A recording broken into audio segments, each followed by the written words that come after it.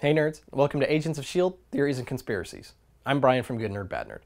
So this week on Agents of S.H.I.E.L.D., we had a lot. It just kind of hit the ground running, and it was a great episode. It, this was a really strong episode, and I'm actually really excited for where the show is going. The ratings have been steadily increasing. These last few episodes have been really solid for the show, so I, I feel like a season five is all but guaranteed. But let's jump into it. So first, the highlights. First off, uh, between Coulson and May, their their interaction at the beginning, and he's he's not really coming forward, and then he finally opens up, and the whole time I was th- thinking it was going to be, you know, didn't they kiss? Wasn't that a thing?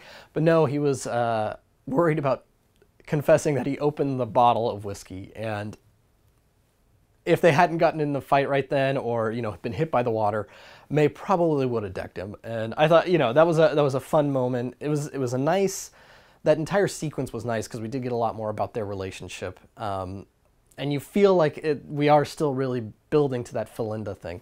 So that was that was great.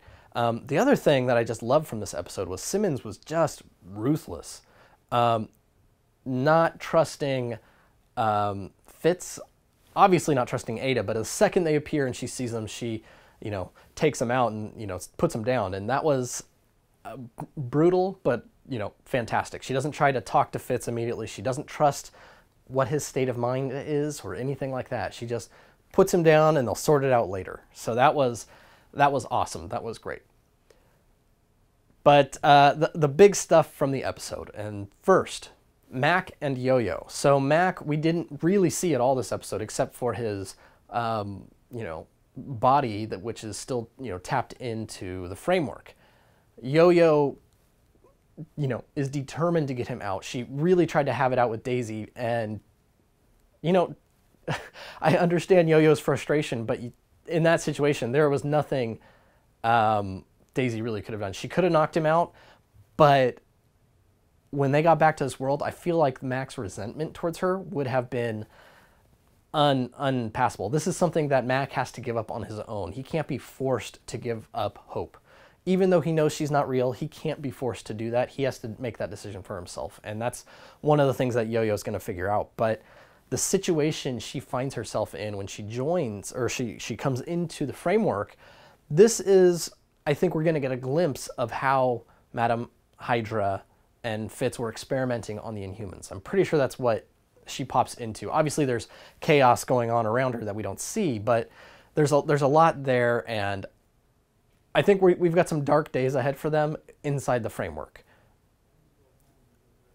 I, I just don't know how much time they're going to be able to spend on it. We are really quickly coming up to the end of the season, but it, it's you know it's uh, there's going to be some some tough moments ahead for both of them. I think. So next, Fitz is clearly and understandably uh, shocked and almost. Uh, you know, he's he's definitely suffering from PTSD from what he did.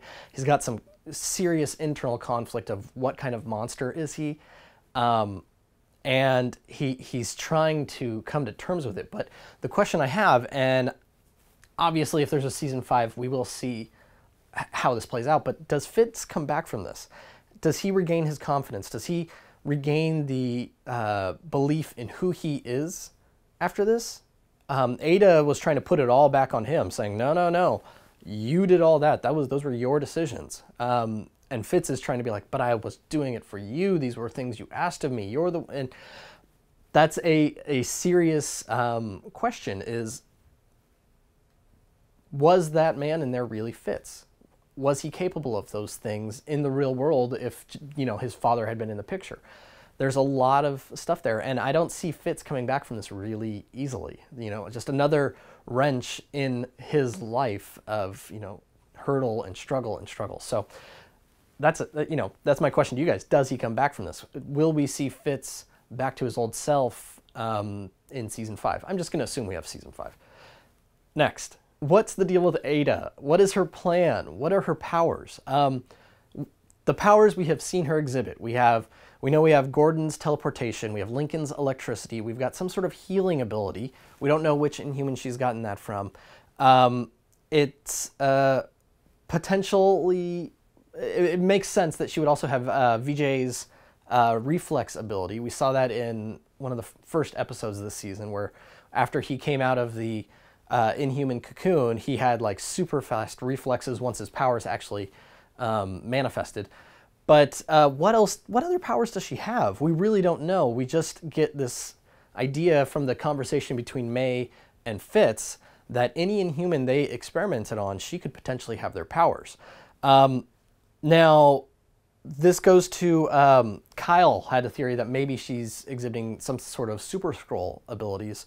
Um, and this was Marvel's way of kind of getting that kind of characteristics of the character into the show or just into the MCU in general.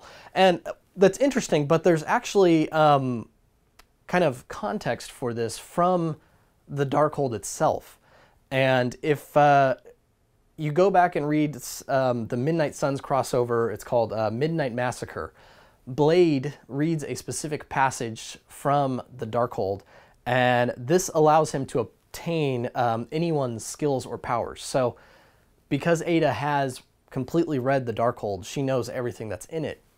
So it makes sense that she would kind of be able to do this and help Fitz create a machine within the framework that would give her these things and encode those abilities onto her so that when she did make a new body, they could already be in there. Um, what do you guys think about that? I think if, uh, you know, all the crazy stuff that we're seeing, if we kind of go back and look at some of these storylines that deal specifically with the Darkhold, we're going to see crazy stuff, whether it's in that kind of Midnight Suns thing or any Doctor Strange stories. The Darkhold really does have a lot of power that people can, you know, take advantage of. And because AIDA did it in her robot form, I don't know that she's necessarily corrupted by it.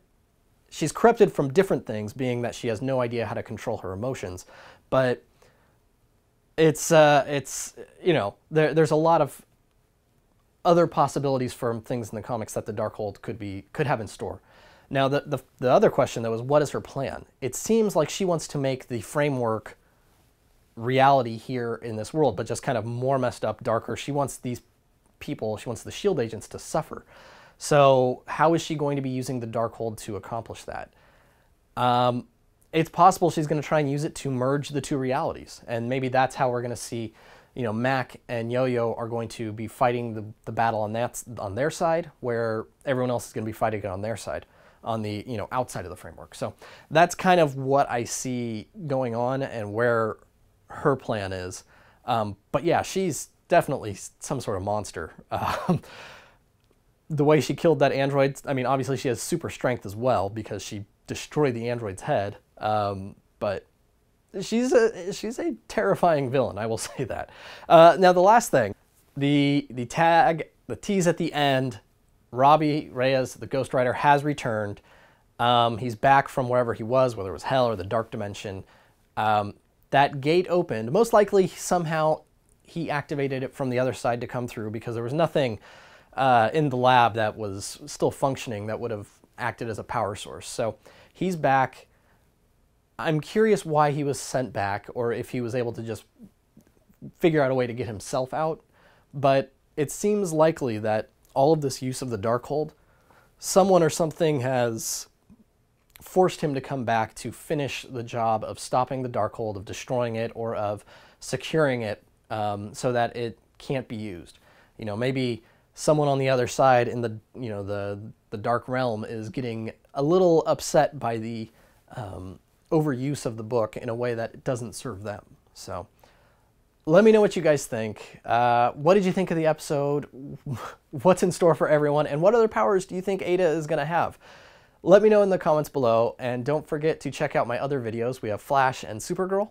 So until next week, guys, I'm Bryan from Good Nerd Bad Nerd, and this has been Agents of S.H.I.E.L.D. Theories and Conspiracies.